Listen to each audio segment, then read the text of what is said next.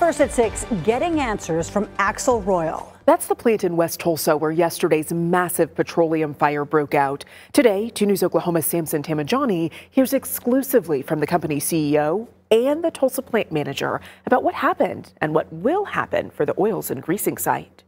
Axel Christiernsson acquired Royal Manufacturing's Tulsa site, where I'm standing, back in 2018.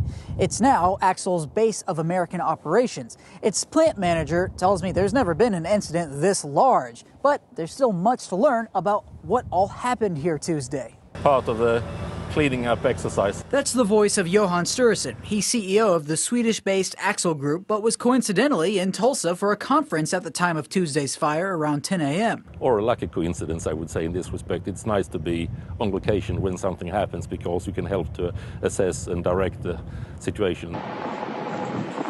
Something sparked Axel's oil blending and storage tanks to unleash two story flames and solid black smoke seen from miles away. What exactly that was is to be determined. We're doing an assessment of the damages to be able to understand what steps we need to take to resume operation as quickly as possible. How many people do you have employed here on an average day then? Uh, we've got approximately 70 employees that work here every day. Bill Selfridge was also offsite at the time of the three hour blaze. He says Tuesday was by far the largest incident to ever occur here. He credits Tulsa Fire Department and the Holly Refinery Fire Division for lending a helping hand to limit the damage. We'll take our learnings once we assess what, you know, what, what the causes were and uh, make things better. Safety is advertised well outside these buildings. It helps that nobody was injured Tuesday, but the work and job security for workers won't be compromised compromised, the men say. It's important that we, uh, we take care of our people and get back in production and operating you know, as quickly as we can. This is a bump in the road, a significant bump in the road, but we stay on the road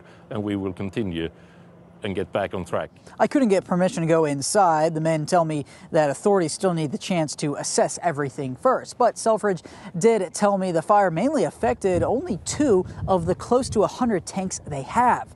In West Tulsa, Samson Tamijani, 2 News, Oklahoma.